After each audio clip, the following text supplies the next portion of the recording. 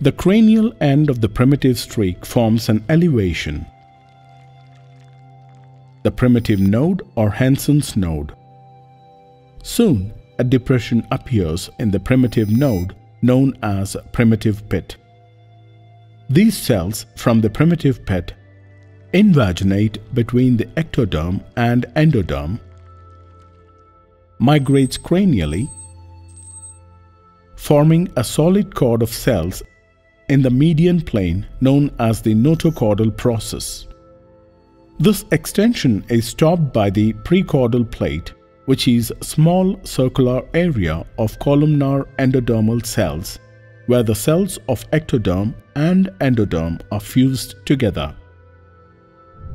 This cellular cord, which extends between the primitive node and the prechordal plate is known as the notochordal process.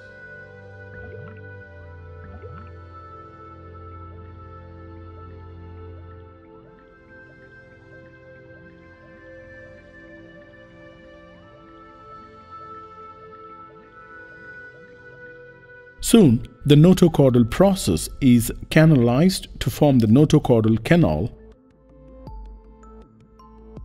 by the extension of the primitive pit into the notochordal process.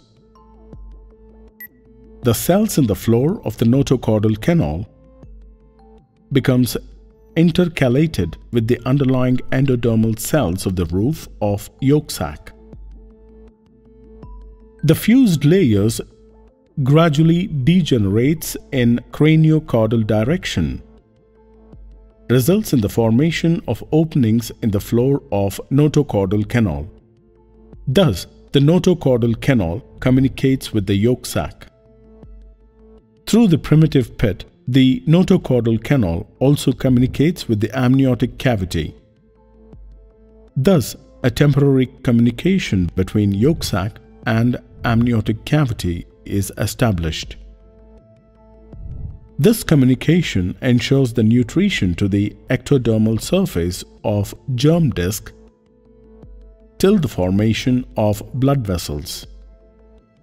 The remaining part of notochordal process becomes flattened and forms a flat plate of cells known as the notochordal plate.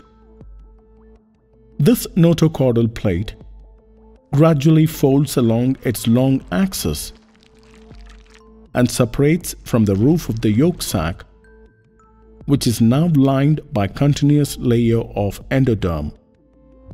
The cells of the notochordal plate begins to proliferate in the cranial caudal direction.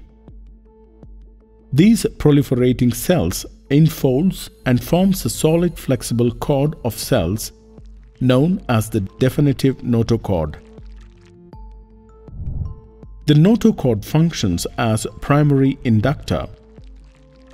It stimulates the development of primitive vertebral column and it induces the overlying ectoderm to thicken and differentiate into neural tube.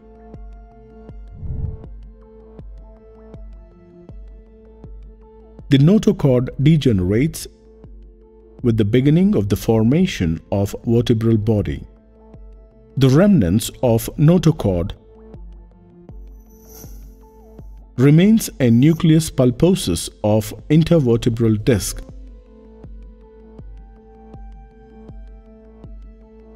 and apical ligament of dens.